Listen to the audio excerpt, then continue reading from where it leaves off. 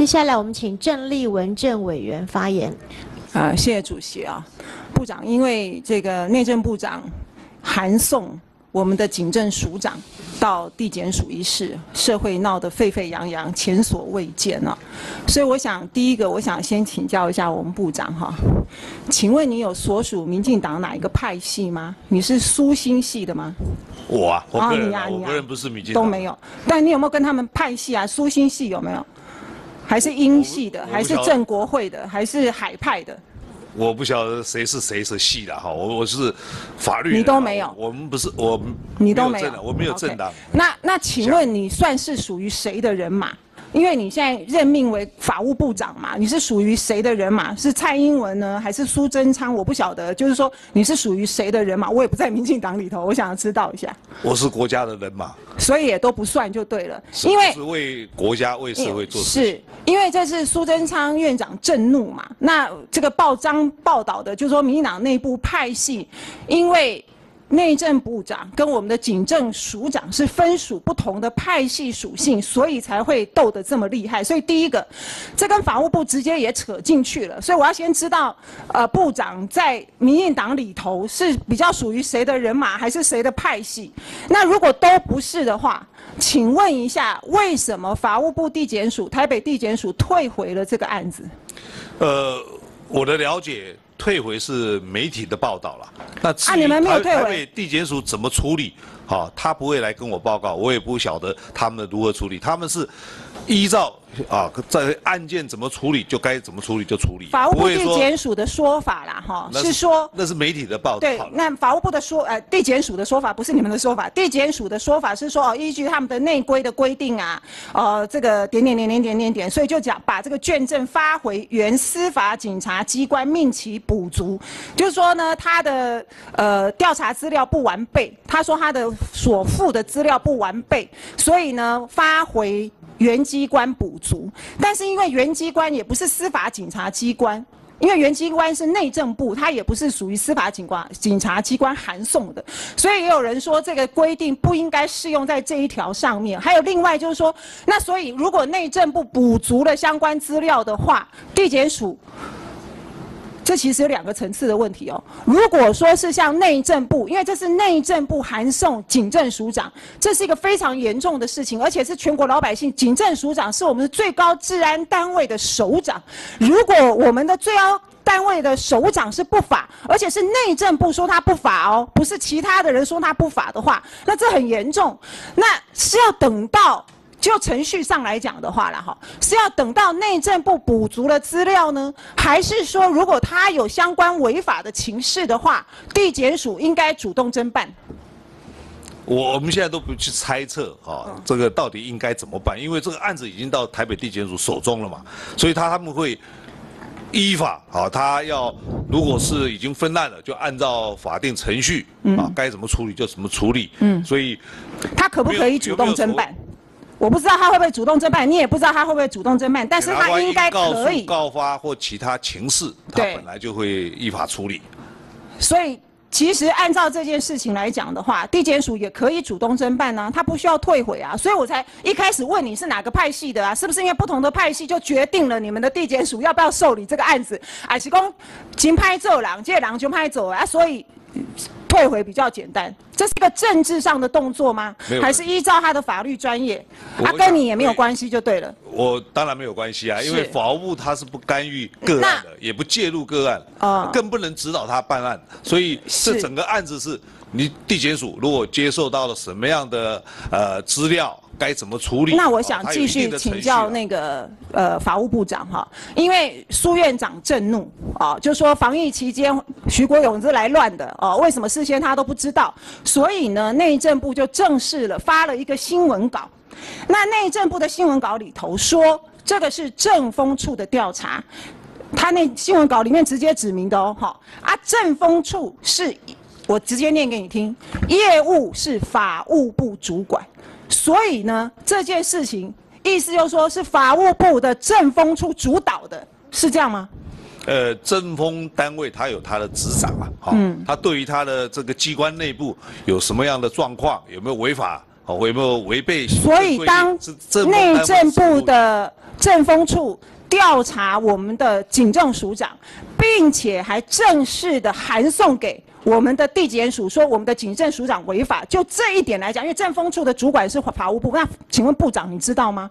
你事先知道说他们在调查署长，而且函送署长吗？呃，我不知道，因为这个案处理啊，他本来就是他们不会上报到部本部。是廉政署，政风单位他的主管业务的上级是廉政署，那法务部并不处理这些个案的问题，所以你事先都不晓我得，都不晓得，那事后才知道，我也是看报道了。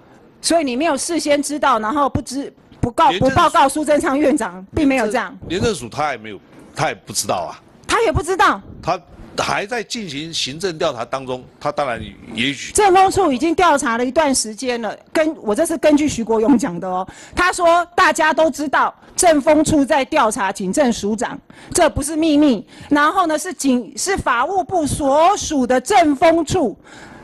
送所属函送的，跟他们内政，他说该来来进波波关黑呢是你们法务部管的呢。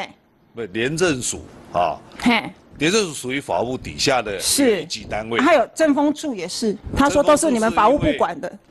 属于廉政署。好，那再接下来请教一下部长哈，那现在廉政署会不会调查呢？因为内政部说他们函送了法务部、廉政署还有监察院，那现在地检署给他们驳回啦，那廉政署呢？廉政署也驳回吗？还是说廉政署有要调查？这个都是个案的处理的哈你，也不知道，我不会，你都不管我也不去介入，也不去干预，所以你真的不知道。我没有看到报告啊。都没有看到报告，没有所以，那如果按照正常程序好了啦，我们理论上来讲的话，内政部正式的由内政部函送给廉政署，请廉政署调查，他不会不调查吧？那不然人家会不会觉得说，因为警政署官那么大，所以署长就不调查，小官才调查，大官就不调查？就理论上来讲，他应该要调查吧？是不是？那我们现在不谈理论了哈，不谈理论，也没有原则，理论遇到他也行不通。那按照法律的规定啊，按照法律的规定，是不是应该要调查？我是问你，按照法律的规定啊，当内政部函送了一个官员给廉政署说，请廉政署调查的时候，廉政署是不是一定要调查？是不是这样啊、廉政署那他有他的执掌嘛？啊，如果廉政署 你脸这样，他有大家回答自己吧。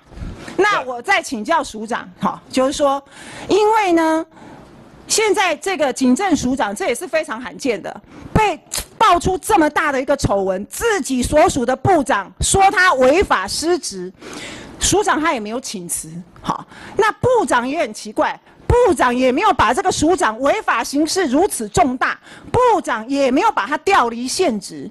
你照理讲应该调离现职，这样才有方便，不管是你法务部还是廉政署才能够去调查。那现在警政署长他还是站在那边，那这样会不会影响调查？他还在现实上面呢，他是警政署长哎，全国的警察都是他管哎，那你们调查得动吗？现在案子已经在台北地检署嘛，大家台北地检署已经台北地已检经驳回，已经已经把他送回去了呢。没有退回了，他已经退回内政部了呢。没有，你觉得没有退回？我我觉得他不敢退回。不是说敢报纸乱讲的法律上该怎么处理？因为我们在处理一个呃资料或是一个，所以照理讲应该不至于退回他退回也很奇怪案，件的内容啦，好，因为你一直跟我说案子在地检署，案子在地检署，那地检署就已经退回了啊，那是报道啦，那是报道。因为我也没听到地检署或是高检署有来跟我报告说这案子后续怎么处理嘛。部长是这样子哈，就是说，因为这真的全国高度的关注啊，他是负责，他是我们的所有警察最高首长哎，他是堂堂警政署长，今天是他的直属的现任的内政部长函送他哎，那这个事情不了了之吗？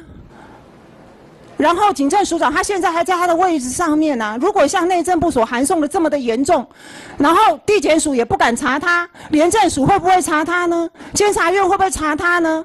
啊，还是因为他的后台硬，所以连内政部长要查他都动不了他？还是内政部长是真的像苏贞昌讲的没事找事做，陷害忠良，人家根本没有违法，你还乱给人家大家不举报随便告发，猜测了一定是哦两边一定有一边有问题呀、两边都没有问题，那难道我们全国老百姓的脑子有问题吗？一定两边一个有问题嘛。现在已经在台北地检署，大家就静待他的。现在烫手山芋丢到你法务部啦，法务部不管你是地检署还是廉政署，弄你法务部的查呗啊。所以我要先知道说，哦，啊你是哪一派的？如果都没有秉公处理、依法处理是怎么样？我是国家派的啦对啊，那很好。那所以依法处理、就法论法应该怎么处理？应该让我们知道，不然这事情就这样没有了吗？苏贞昌叫他们两个闭嘴的波代基啊！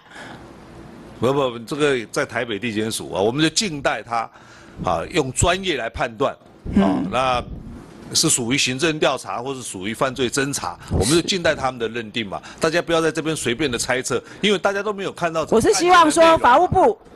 像你刚刚讲的很好，秉持国家的立场，依法论法，该办就办，不要因为他是警政署长就不敢办他。但是如果他是冤枉的，也要还他一个清白，不要这样不清不白的退回啊！他到底是有罪还是没有罪？他到底是有没有违法渎职？没有人知道，这样不好。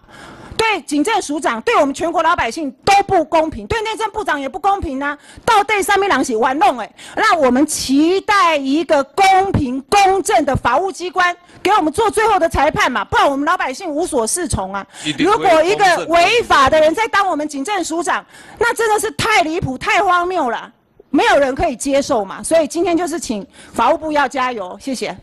谢谢。